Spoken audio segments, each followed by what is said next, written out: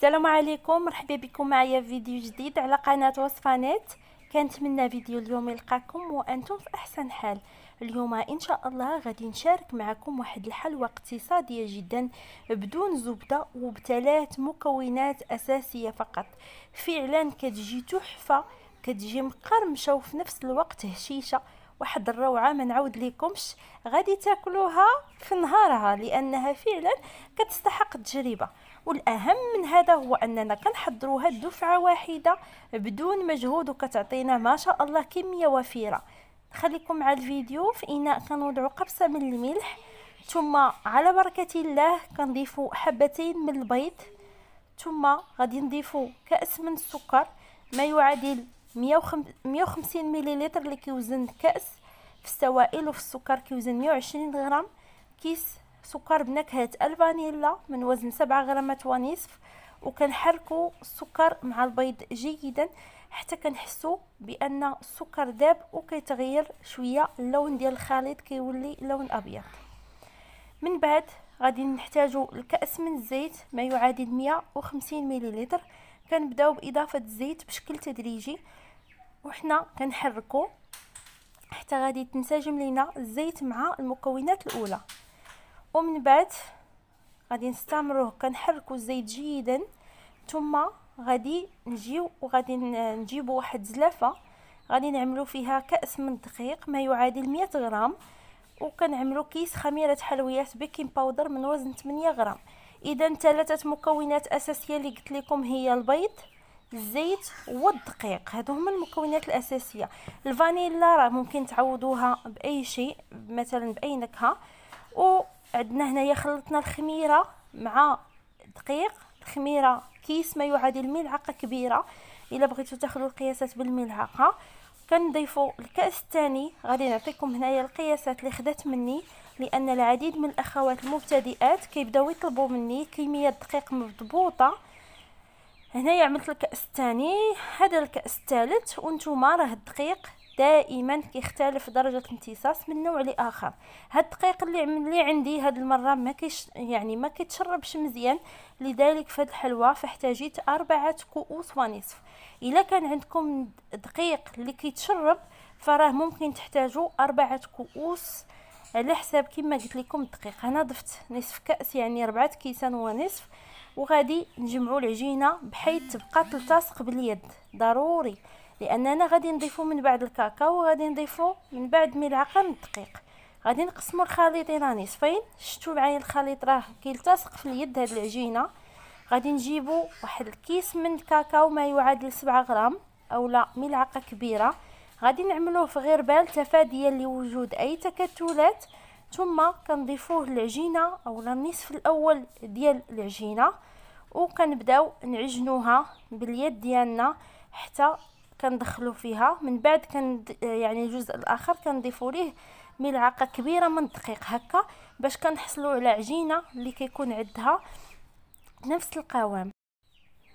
من بعد هذيك العجينة الثانية اللي ضفنا ليها ملعقة كبيرة من الدقيق كذلك كندخلو فيها الدقيق. من بعد غادي نجيبو بلاستيك غذائي على بركة الله. وكنجيو غادي نعملوه في سطح العمل.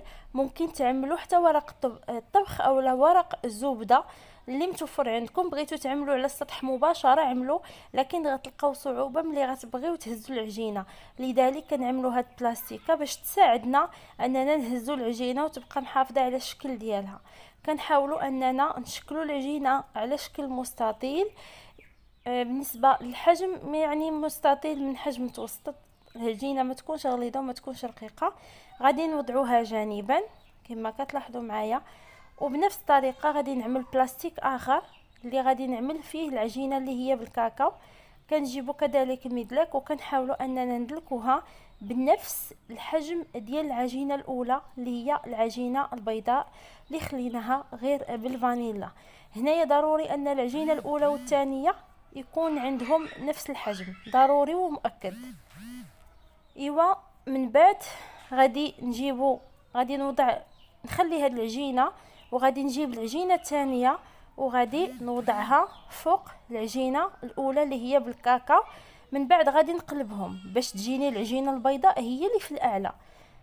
كما لاحظتوا معايا غادي نزول الآن هاد البلاستيك. كما شفتوا العجينة البيضاء هي اللي في الأسفل باش ملي كنلفوها كنبداو في اللف كتجينا هي اللي كاينة في الأعلى والعجينة السوداء كتجينا هي اللي كاينة في الوسط. كنبداو نلفو من الجانب على هذا الشكل وكنجيو من جانب الآخر يعني كنلفو حتى النصف فقط وغادي نقلبها وغادي نجي الجانب الآخر وغادي نلفها كذلك للنصف.